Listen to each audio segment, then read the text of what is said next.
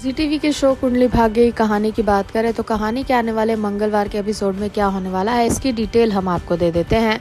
दरअसल कहानी की शुरुआत हो चुकी है जहाँ पृथ्वी आ चुका है और पृथ्वी एक बार फिर से अपना खेल खेल रहा है, जहाँ सबके सामने तो पृथ्वी का बस नहीं चलता है, लेकिन कृतिका के सामने वो बहुत बड़ा ड्रामा करता है। ऐसे में आपको हम बता दें कि जल्द ही कृतिका के सामने पृथ्वी का सच आने वाला है। जी हाँ एक लीडिंग वेबसाइट की माने तो जल्द ही कृतिका अब सच का पता लगाएगी और इस बार उसे सच का पता भी चलेगा और कहानी के ट्रैक में एक बहुत बड़ा ट्विस्ट भी आने वाला है। अब देखना यह मज़ेदार होगा कि आखिर कैसे कृतिका अपने पृथ्वी से बदला लेती है, क्योंकि वो कहीं ना कहीं पृथ्वी को पसंद करने लगी है।